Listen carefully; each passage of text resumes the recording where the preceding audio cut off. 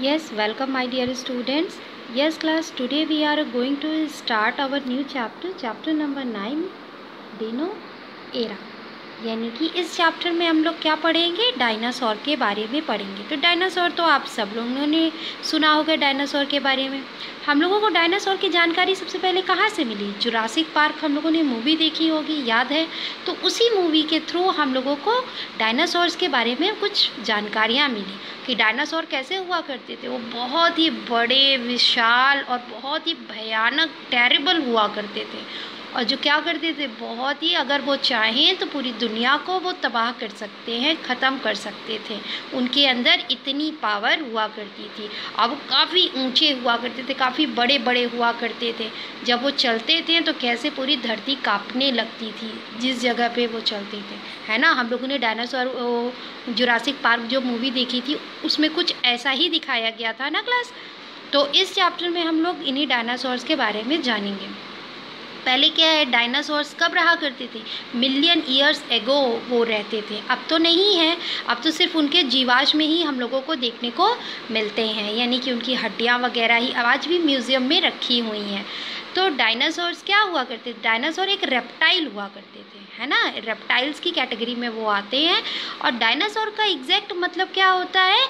यानी कि टेरेबल लजर्ड यानी कि डरावना छिपकली जिसे कहा जाता है है ना? तो डायनासोर यही है तो डायनासोर आपको पता है, कई तरह के हुआ करते थे। जैसे जुरासिक पार्क में हम लोगों ने सिर्फ़ कुछ ही डायनासोर्स के बारे में देखा होगा उसमें, ठीक है? लेकिन एक्चुअल में डायनासोर बहुत सारे हुआ करते थे कई कई कैटेगरी के होते थे, ठीक है? तो आज हम इसमें कुछ डायनासोर्स के बारे में जानेंगे। तो सबसे पहले आपका क्या है? देखिए फ़र्स्ट फिगर हम देख रहे हैं, ये देखिए। इस डायनासोर। ये कौन सा डायनासोर है? इसको हम ट्राइनासोरस रेक्स के नाम से जानते हैं। या शॉर्ट में हम कह दीजिए तो इसको हम क्या कहते हैं?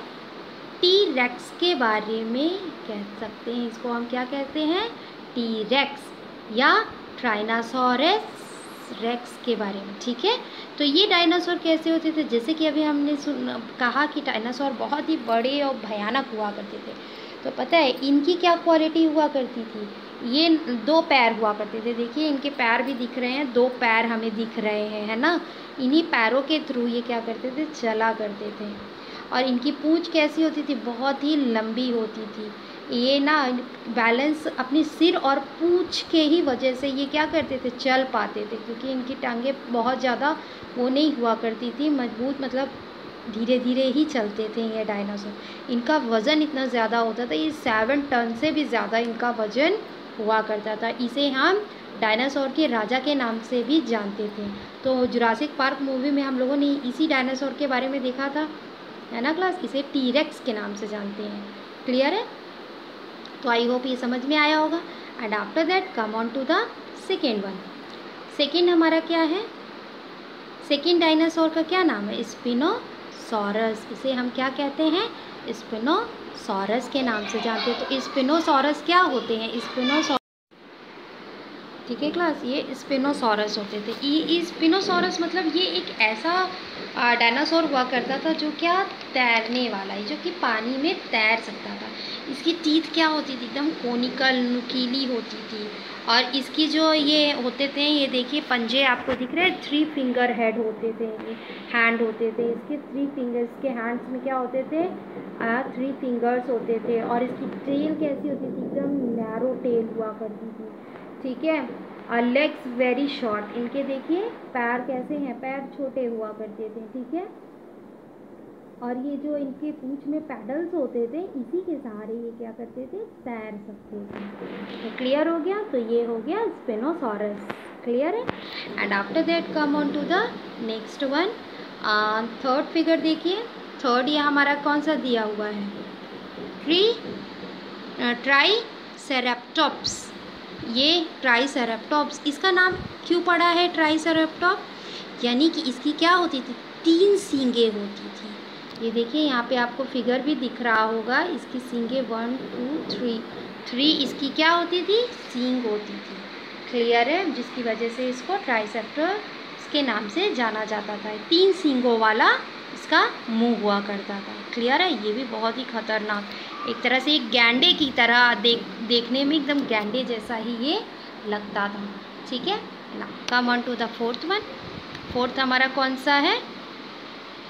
फोर्थ गिगन गिग्नोटोरस के नाम से इसको जानते थे ये बहुत ख़तरनाक हुआ करता था। ये गिग्नोटोरस ये सबसे लार्जेस्ट कार्निवोरस ये समझ लीजिए टीरेक्स से भी ज़्यादा ये स्ट्रॉन्ग हुआ करता था। फास्ट मूविंग ये क्लास था। बहुत ही तेज़ ये चलते थे। बाकी डायनासोर तो धीरे धीरे चला करते थे बट ये डायनासोर क्या, देखिए इसके लेग भी बहुत बड़े हुआ करते थे। शॉर्ट नहीं थे, इसके लेग बड़े थे। तो ये बहुत तेज़ी से चलता था।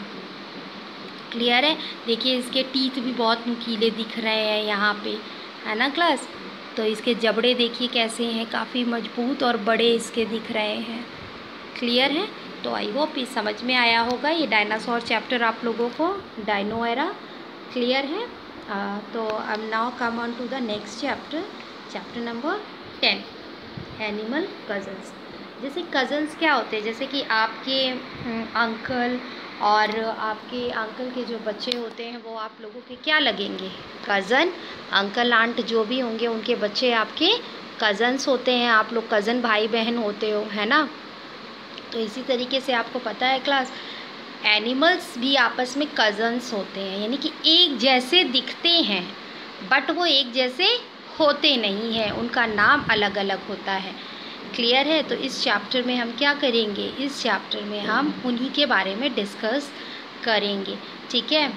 अब देखते हैं। फ़र्स्ट देखिए, यहाँ पे देखिए दो फिगर दिया हुआ है। दोनों देखिए कैसे लग रहे हैं? रैबिट की तरह लग रहे हैं ना? कोई चेंज लग रहा है? लेकिन इसमें डिफरेंस है। क्योंकि एक का नाम हेयर है, दूसरे का नाम रैबिट है। दोनों का मतलब ही रैबिट खरगोश ही होता है, लेकिन इनकी क्या होती है? कैटेगरी थोड़ी सी डिफरेंट होती है। तो हम इसके बारे में देखेंगे, जो हेयर्स होते हैं, वो क्या होते हैं? वो लार्जर देन रैबिट्स रैबिट से क्या होते हैं? वो लार्जर होते हैं क्लास ठीक है? With longer hand legs and longer ears with a back marking black marking के साथ इनकी क्या होती है? लेग्स को क्या होती है? बहुत ही वैसी होती है। लॉन्गर ईयर्स इनके क्या होते हैं? कान बहुत ही लंबे होते हैं। ठीक है? वाइल जो रैबिट्स हैं rabbit for stay the same colour year round.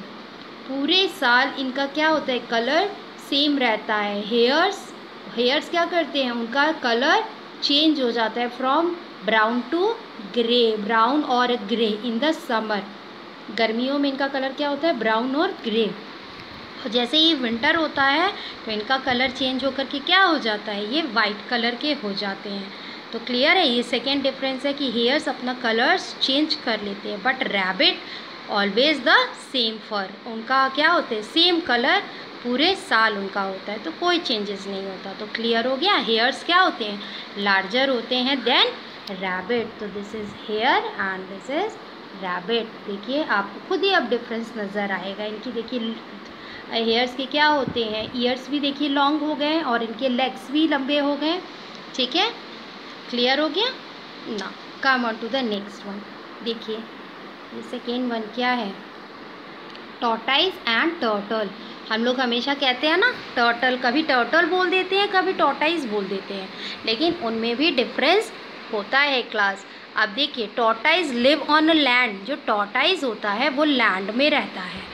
Wild turtle live in water almost all the time जो टर्टल होते हैं, वो वाटर में ही सिर्फ़ हर समय रहते हैं। Tortoise has small and sturdy feet जो टोटाइज होते हैं, उनकी क्या होती है? जो फीट होते हैं, पंजे क्या होते हैं? स्मॉल होते हैं, छोटे साइज़ के होते हैं। And their legs are a bent उनके जो पैर होते हैं, मुड़े हुए से होते हैं। और जो टर्टल होते हैं, उनकी फीट कैसी होती है? वेब्ड की तरह होती है। जैसे कि कैसे उनका मकड़ियों के जाले की तरह उनका पंजे हुआ करते हैं। With long claws that help them in swimming जिसकी वजह से वो क्या करते हैं? मतलब तैरते हैं। पानी में हमेशा तैर सकते हैं फिट और लॉन्ग क्लॉज की वजह से। क्लियर है? तो ये भी डिफरेंस पता चल गया। टोटाइज एंड टोटल में ना। Come on to the next one alligator alligator and crocodile अब देखिए एलिगेटर और क्रोकोडाइल भी एक ही जैसे देखने में लगते हैं, लेकिन डिफरेंस होता है इसमें। एलिगेटर है वाइडर वो बड़े होते हैं U shaped snouts U shaped के वो उनका यू शेप्ड होते हैं, थुथुन टाइप के होते हैं वो। वाइल क्रोकोडाइल जो होता है crocodile front end are more pointed and V shape और क्रोकोडाइल कैसे होते हैं, वो वी शेप में होते हैं पॉइंटेड होते हैं। वो जब ख़त्म, जहाँ पे उनका लास्ट हिस्सा बैक का आता है, वो कैसा होता है? वो वी शेप का होता है। और जो एलिगेटर का होता है, वो यू शेप में होता है। क्लियर हो गया? ये देखिए क्रोकोडाइल का फिगर है और दिस इज़ एलिगेटर क्लियर है? ना come on to the last one यहाँ पे क्या दिया है? मेल डियर और एंटेलोप्स के बारे में दिया हुआ है। अब देखिए, ये भी डियर्स भी, ये दोनों ही डियर्स होते हैं। दोनों में ही बहुत ज़्यादा अंतर नहीं होता, देखने में एक जैसे ही लगते हैं बट इसमें डिफरेंस होता है। अब जैसे जो मेल डियर होते हैं, उनकी क्या होती है? सींग्स होती है। Have antler which they shed and grow every year जो हर साल क्या है? बढ़ती है उनकी सींगें ठीक है? वाइल जो एंटेलॉप्स होते हैं, जो एंटेलॉप्स होते हैं, उनकी सीन क्या होती है? परमानेंट होती है, वो नहीं बढ़ती ग्रोथ नहीं करती है। Moreover deer antler are a branch जो डियर एंटलर होते हैं, वो क्या होती है? उनकी जो सींगें होती हैं, वो कैसी? ब्रांच की तरह होती हैं, जैसे पेड़ के ब्रांचेस नहीं, फैले फैले होते हैं तो वैसे उनकी सींगें भी फैली होती हैं। बट जो एंटेलॉप होती हैं, उनकी सींगें फैली हुई ब्रांच की तरह नहीं होती हैं। क्लियर है? तो ये चैप्टर भी आपको समझ आया होगा आई होप क्लियर क्लास तो एक बार आप इसको ज़रूर से पढ़ लीजिएगा. क्लियर है? आ, इसी तरीके से आपका ये नाइन्थ एंड टेंथ चैप्टर भी कंप्लीट हो गया है. And thank you for today class